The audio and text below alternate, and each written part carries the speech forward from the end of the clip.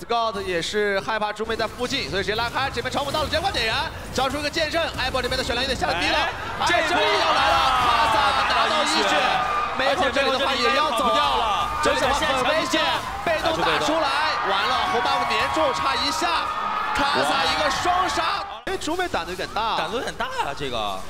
这胆子是真的挺大的。过来要强行撸吗？抢到了，抢到了，这边还能交 Q 跑，撞出来，闪现给了奥拉夫有点生气，交大招了，被罚大了，奥拉夫怎么说？够不够？一个大招先行阵亡，他这边又不小心，剩下大招，这伤害要跟上了，伤害差一下，哎，超大没有死，我最后还是被戳死了，但是又被瑞兹后。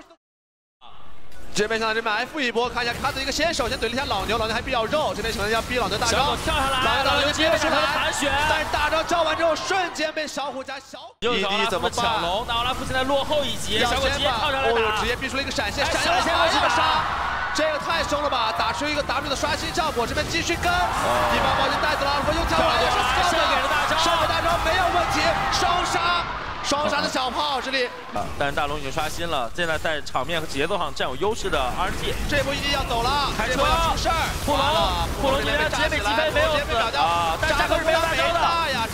这个时候又被拉了一下，这虚弱个进场，前半就是小虎扛到了所有的伤害，子弹进来，直接被拉了虚弱，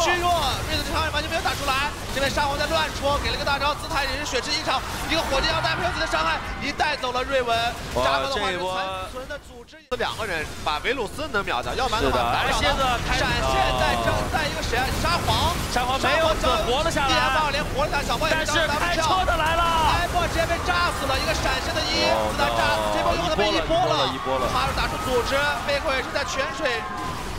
哎呀，这里又死掉了，一波零换四。说实话。